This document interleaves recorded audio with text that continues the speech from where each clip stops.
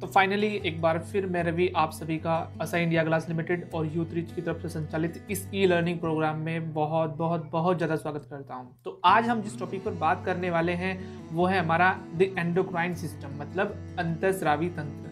हमारा जो चैप्टर चल रहा है, जिसमें हम लगातार बात कर रहे हैं कंट्रोल एंड कोऑर्डिनेशन में तो उसमें ये अगली चीज़ है हमारा एंडोक्राइन सिस्टम तो इसको ही आज हम इस टॉपिक के अंदर देखने वाले हैं।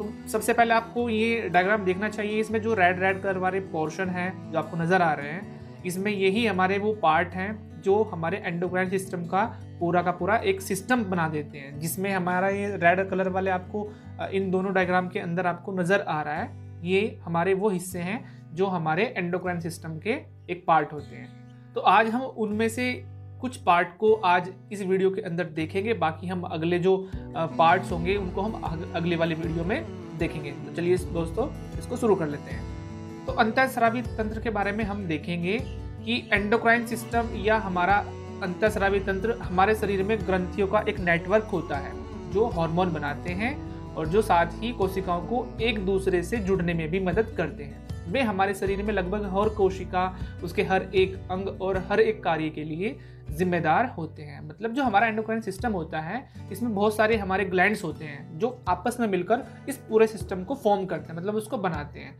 और ये किसी ना किसी तरीके से या कोशिकाओं के माध्यम से एक दूसरे के साथ जुड़े हुए होते हैं और पूरी की पूरी एक फॉर्मेशन आपस में बना लेते हैं। यदि मनुष्य की अंतस्रावी प्रणाली स्वस्थ नहीं है तो मनुष्य की युवावस्था के दौरान या अगर महिला है तो गर्भावस्था के दौरान उसमें तनाव की समस्याएँ हो सकती हैं। साथ ही इसके चलते मनुष्य आसानी से अपना वज़न बढ़ा सकता है, उसकी हड्डियाँ कमज़ोर हो सकती हैं या उसमें ऊर्जा की आवश्यकता होती है। कहने वाली बात ये है कि अगर किसी मनुष्य की जो एंडोक्राइन सिस्टम है, उसका अंतस्रावी प्रणाली है, अगर वो सही नहीं है तो इन फ्यूचर या समय के साथ साथ उसमें कुछ आमूल परिवर्तन नज़र आते हैं। उसमें तनाव बढ़ सकता है गर्भवती महिलाओं कुछ प्रॉब्लम हो सकती है, या जो हमारी यूथ एज होती है, उसमें कुछ समस्याएँ हो सकती है। साथ ही साथ मनुष्य का वज़न भी बढ़ सकता है, या उनकी हड्डियाँ वगैरह, या उनकी ऊर्जा में भी कमी हो सकती है। तो ये पूरा का पूरा इन्हीं हमारे एंडोक्राइन सिस्टम के द्वारा कंट्रोल हो पाता है। चलिए, अब हम बात करेंगे कि हमारी ग्रंथियाँ क्या होती हैं। ग्रंथि एक प्रकार का अंग है जो हार्मोन बनाता है, और शरीर में एक विशिष्ट कार्य करती हैं। अंतस्रावी ग्रंथियाँ शरीर में उन पदार्थों को छोड़ती है जो रक्त प्रवाह के माध्यम से पूरे शरीर में प्रवाहित होती है। कि जो हमारे ग्लैंड जो हमने सबसे पहले जो स्लाइड देखी थी सबसे स्टार्टिंग में तो उसमें जो रेड रेड कलर वाले पार्ट थे वो सारे ग्लैंड थे। और इनका जो मेन काम होता है बच्चों, वो होता है हमारे शरीर के अंदर हार्मोन बनाना। और ये जो हार्मोन बनाते हैं, ये हमारे ब्लड के माध्यम से ही पूरी बॉडी के अंदर सर्कुलेट होते हैं। और साथ ही साथ शरीर में इनका एक विशिष्ट कार्य होता है, जिसको हम आगे देखेंगे।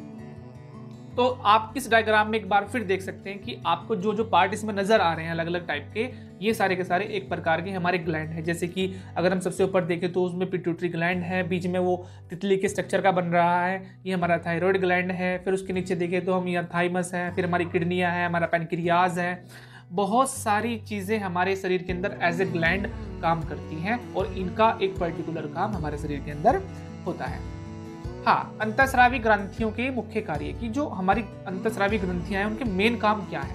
तो इसको भी देख लेते हैं कि ये शरीर में हार्मोन को बनाते हैं। जो मनुष्य का स्वभाव या उसके मूड, उसकी वृद्धि या विकास, उपापचय, अंगों के विकास और प्रजनन को नियंत्रित करते हैं। मतलब ये हार्मोन निकालते हैं, जो हमारे मूड को कभी तनावपूर्ण कर देते हैं, उसको एक खुशनुमा बना देते हैं, या हमारे शरीर की ग्रोथ होती है, वृद्धि होती है, या जो हमारा मेटाबॉलिक सिस्टम है, उसमें काम करते हैं। साथ ही साथ, अंगों का जो विकास होता है, हमारे शरीर का जो विकास होता है, जो हमारी प्रजनन क्षमता है, उसको भी ये नियंत्रित करते हैं।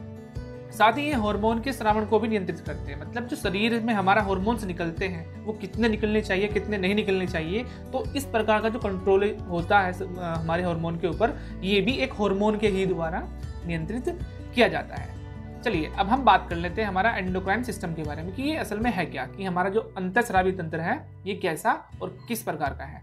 तो कई ग्रंथियाँ एक साथ मिलकर इस अंतस्रावी तंत्र का निर्माण करती हैं, जिसमें निम्नलिखित ग्रंथियाँ आती हैं। कि बच्चों, जो हमारा अंतस्रावी सिस्टम है या एंडोक्राइन सिस्टम है, वो क्या है? उसमें बहुत सारे हमारे ग्लैंड्स आपस में मिल जाते हैं और मिलने के बाद एक पूरा तंत्र बना देते हैं, जिसको हम अंतस्रावी तंत्र कहते हैं। और जिसमें कुछ निम्नलिखित ग्रंथियाँ आती है, जिसमें नंबर एक है हमारी पीयूष ग्रंथि, या जिसको बोलते हैं हम पिट्यूटरी ग्लैंड यह मटर के आकार की ग्रंथि होती है, जो मस्तिष्क के आधार पर स्थित होती है। मतलब इसका जो साइज़ होता है, जो मटर का दाना होता है ना हमारा, लगभग उसके बराबर होता है और जो एकदम सामने की तरफ़ होता है। यह मास्टर ग्रंथि है, क्योंकि यह अन्य सभी अंतस्रावी ग्रंथियों के स्राव को नियंत्रित करती है। इसको मास्टर ग्लैंड भी कहा जाता है, क्योंकि जितना हमारे शरीर के अंदर से हमारी जो हॉर्मोन्स रिलीज़ होते हैं, ये उनको कंट्रोल करती है। यह ग्रोथ हार्मोन यानी जीएच को भी स्रावित करती है, और जीएच के कम श्रावण के कारण बोनापन हो जाता है, और इसके अति श्रावण मतलब ओवर एक्सक्रिएशन की वजह से सिक्रेशन की वजह से इसमें गिंगैटिज्म नाम का एक रोग हो जाता है। ठीक है? तो ये जो पिस ग्रंथि है, हमारी सबसे मेन ग्रंथि है।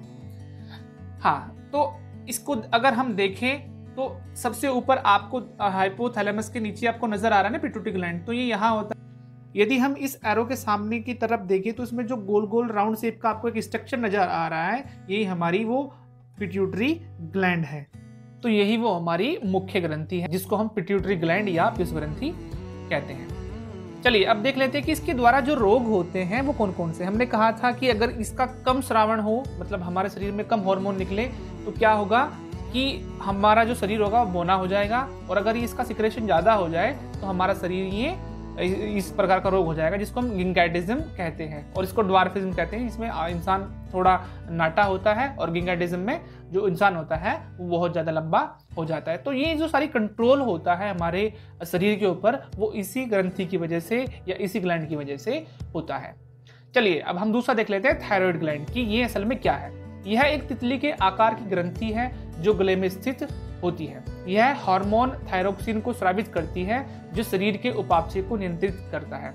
शरीर में थायरोक्सिन को संश्लेषित करने के लिए आयोडीन की आवश्यकता होती है और आयोडीन की कमी के मामले में थायरोक्सिन के स्राव में कमी हो जाती है। मतलब ये तितली के आकार का एक स्ट्रक्चर होता है जो हमारे गले में ये थायराइड होता है ना? थायराइड ग्लैंड ये हमारे गले में होता है। इसका जो मेन काम होता है कि ये थायरोक्सिन नाम का एक हार्मोन रिलीज़ करता है, जो हमारा मेटाबॉलिक जो सिस्टम होता है, या हमारी जो उपापचय क्रिया होती है, इसको कंट्रोल रखती है। साथ ही साथ जो थायरोक्सिन जो हमारा हार्मोन है, इसका जो संश्लेषण होता है, वो आयोडीन की वजह से होता है। अक्सर आप टीवी में देखते होंगे कि आयोडीन का नमक खाइए आयोडीन का नमक खाइए।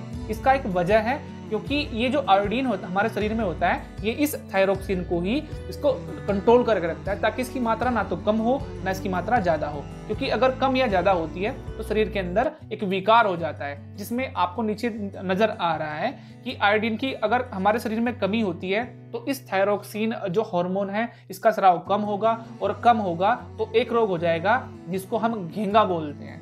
मतलब जिसको हम घेंगा या गोइटर की बीमारी कहते हैं।